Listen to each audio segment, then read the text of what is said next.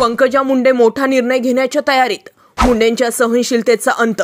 भाजपमधील अंतर्गत राजकारणाचा राजकीय बळी मुंडे ठरल्या. गोपीनाथ मुंडे यांची आठवण पंकजांना येते. पंकजांची होत असलेल्या वाताहतवर भाजपामधील बडा नेता कोणीही बोलेना निर्णय घ्यावाच लागणार पंकजा मुंडेंना कळलं.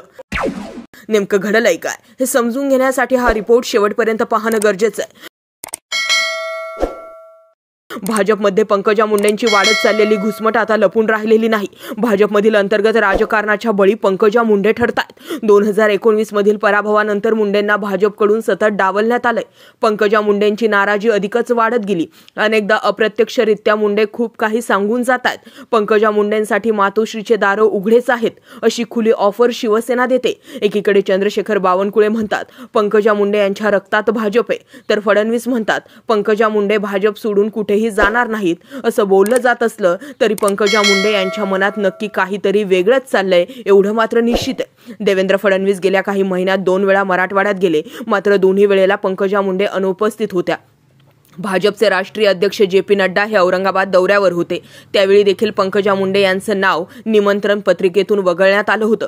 कार्यक्रमाला नाव नसूनही मुंडे उपस्थित राहिल्या होत्या. त्यामुळे मुंडेंच्या सहनशीलतेचा भाजपकडून एक प्रकारे अंतच पाहायला जातोय.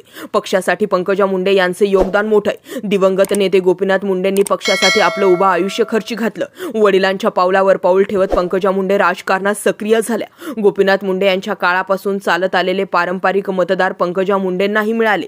मात्र दोन हजार एकोणवीसच्या पराभवापासून मुंडेंना भाजपमधून साईड स्ट्राईक मिळत गेली. भागवत कराडांना राज्यसभेवर पाठवण्यात आलं. नंतर केंद्रीय मंत्रीपदही देण्यात आलं. या दोन्ही वेळा पंकजा मुंडेंच्या नावाची चर्चा झाली होती. पंकजा मुंडेंना भाजप संधी देत नाही तरी संधी का देत नाही किंवा दिली गेली नाही तरी हे संधी देणारेच सांगू शकतील की संधी का दिली जात नाही असं मुंडेंनी बोलून दाखवलंय.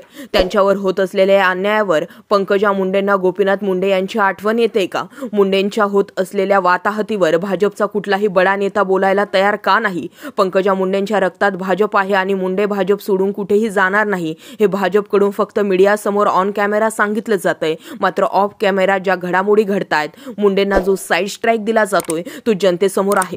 मुंडे नाराजीच्या चर्चांवर सध्या तरी कुठलंही भाष्य करायला तयार नाहीत. त्यामुळे प्रश्न हाच उपस्थित होतो निर्णय घ्यावाच लागणार हे आता मुंडेंना कळतंय का? गडावर झालेल्या कार्यक्रमात सुद्धा पंकजा मुंडेंना डावलण्यात आलं.